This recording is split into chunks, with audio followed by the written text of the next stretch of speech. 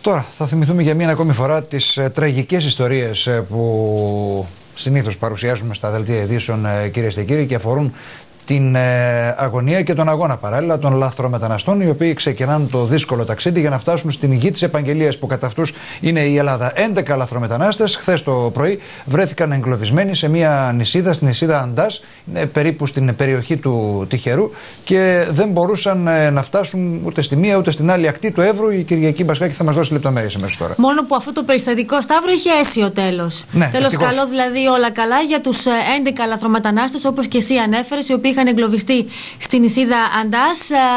Μεγάλη επιχείρηση στήθηκε από το τμήμα συνοριακής φύλαξης ε, του Τυχερού. Ε, οι άντρες της συνοριακής φύλαξης κατάφεραν με τη βοήθεια ενός βαρκάρι βεβαίως να απεγκλωβίσουν τους 11 μη, μόνιμους, μη νόμιμους μετανάστες και να τους οδηγήσουν με ασφάλεια Μεταξύ στην των 11 Κυριακή υπήρχαν και ανήλικα παιδιά, έτσι δεν είναι; Ναι, βεβαίως. γι' αυτό είπα ότι αυτή, αυτό το περιστατικό Σταύρο είχε αίσιο τέλος ε, και για τους ε, μικρούς.